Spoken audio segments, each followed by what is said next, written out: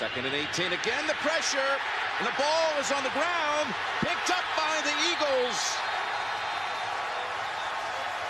Brandon Graham with the recovery. Prescott, look out. Was the arm coming forward? That was Robinson who hits him. They're going to rule it a fumble and a recovery. Of course, all pending the replay. Flacco. He's hit from behind by Irvin, and he lost the football.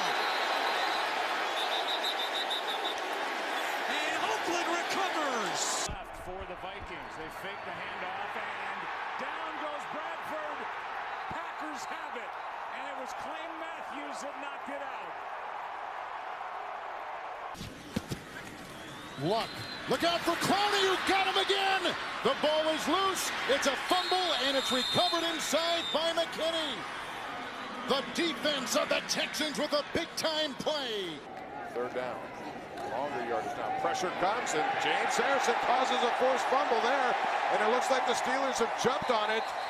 We'll wait till the pile, but Harrison gets in there like he always does. Cousins. Pierre Paul knocked it out. Cousins back on top. And no time left on the clock at the moment. Yeah, Joe, the, the Kirk Cousins has to know you got to get the Backpedaling away from pressure. Fumble. Ball's loose. Who's got it? I think the Bears recovered it. That was the initial signal. Jason Pierre-Paul. Now in, 13th play of the drive. Taylor feeling the pressure. Oh, the ball gets knocked away. Khalil Mack. He is a one-man wrecking crew on defense. Offensive line really thin at this point. Cousins on first down loses the ball. It's a fumble and it's picked up by the Cardinals. Markus Golden and Golden is tackled. Calais Campbell, who The five with a flag, and the ball comes out of the hands of Rodgers, and it's recovered into the end zone by Leonard Floyd. He got the sack. He kept working. Need to get to the 19-yard line, and the ball is out.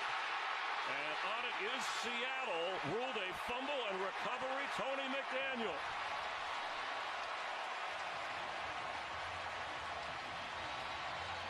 With this offense. Second and 12. Watch out from behind. He gets hit, and it was Vic Beasley who picks up the loose ball. Fumble recovery and a touchdown.